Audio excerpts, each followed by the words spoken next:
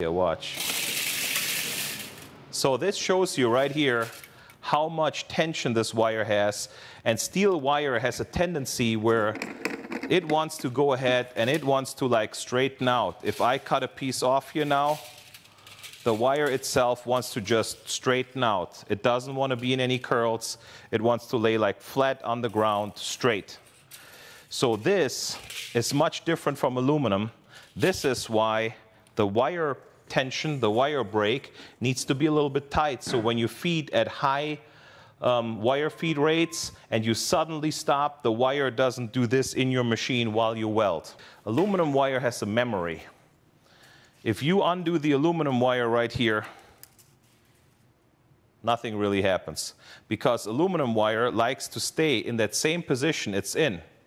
As the aluminum wire comes off, it comes off like a corkscrew. So the aluminum wire doesn't need as much tension to hold in place. But what happens here is when you feed this through a MIG gun, you want to use at least an 8 inch roll because the cast on the 8 inch roll will make for a few contact points with the liner, but not too many.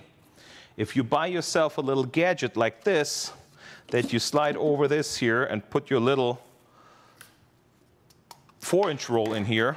The problem with the four inch roll is it works good in a spool gun where it only needs to push, where it only needs to push four, six inches. If you do this on a regular MIG gun and you look at this, the closer you come to the end of this, the tighter the cast is, and it comes off like a corkscrew.